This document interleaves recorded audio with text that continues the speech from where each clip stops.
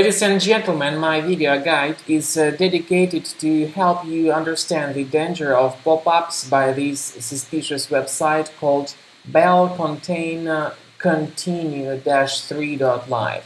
Well, there may be some other variations of these uh, pop-ups, for instance, uh, dash 4.live or dash 5.live or something like that.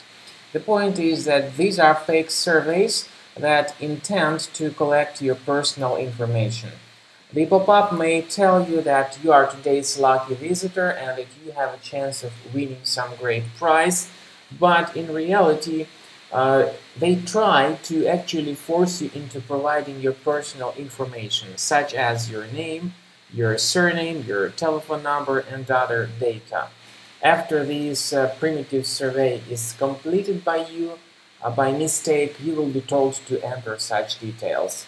My strong recommendation is that you do not share any of your private data because, for instance, if you provide your email, you may be permanently seeing strange uh, spam uh, getting into your email account and to experience other programs.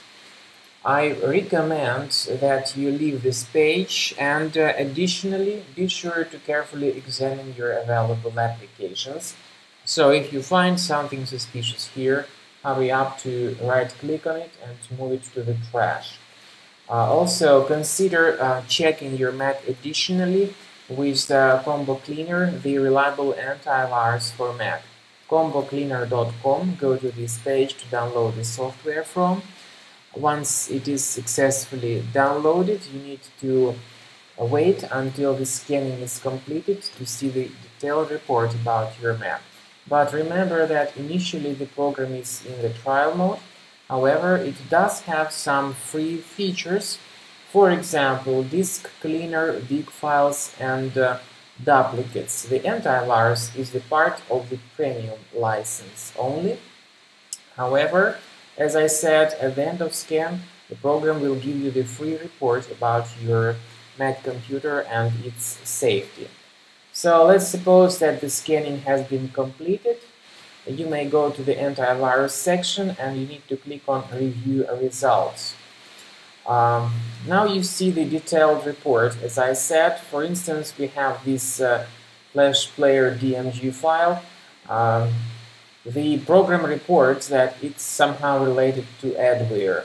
So you may um, click on this um, special icon that says show in Finder.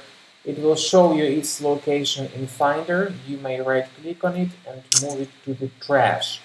You may do the same thing with all other um, infections or you may uh, consider purchasing the premium version of the program to get rid of these threats uh, automatically with the premium version of Combo Cleaner.